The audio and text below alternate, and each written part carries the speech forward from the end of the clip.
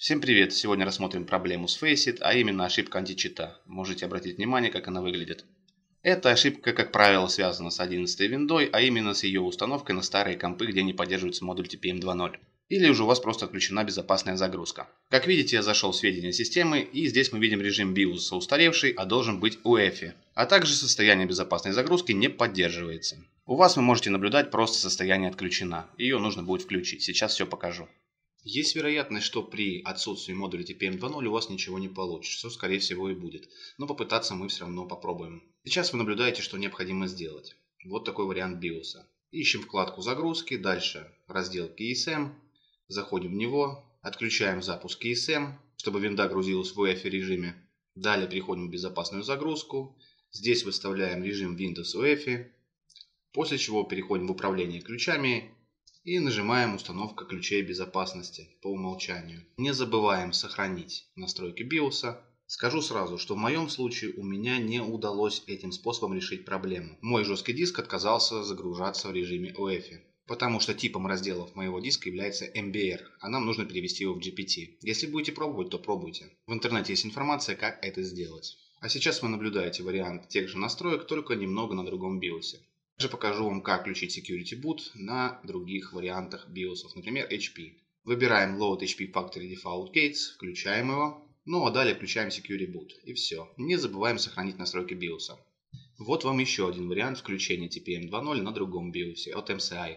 Не забывайте, что везде придется включать тип загрузки операционной системе UEFI. Какой вывод об этой проблеме можем сделать по итогу? Дело в том, что устанавливая Windows 11, обратите внимание, что вы пытаетесь установить ее на свой старый компьютер. Если у вас не поддерживается модуль TPM 2.0, то скорее всего, если вы любите играть на Faceit, то у вас здесь проблемы возникнут. Все эти методы, что я перечислил, могут вам помочь, а могут и нет. Потому что эти методы я пробовал уже на нескольких компьютерах, в том числе и на компьютерах друзей, кому это помогало, а кому нет. И вывод я сделал, что помогало лишь тем, у кого присутствует модуль TPM 2.0. Но он просто был отключен. Также варианты, как включить именно на вашем BIOS модуль TPM 2.0 присутствуют в интернете, вы можете внимательно поискать, обязательно найдете, если не нашли в моем ролике. Обязательно настройка выставления типа UEFI при загрузке операционной системы. Если у вас это не получается, значит просто переводите тип разделов своего жесткого диска в GPT формат. Есть еще один вариант решения, если прямо вы очень сильно любите Faceit, то есть вариант купить этот модуль TPM 2.0. Они продаются, вставляются в материнскую плату и затем у вас все будет работать.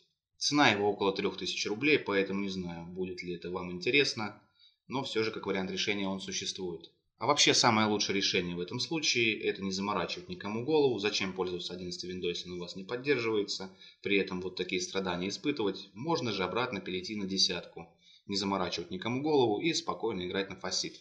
Что я в принципе рекомендую сделать, если у вас ничего не получается, самый-самый лучший вариант.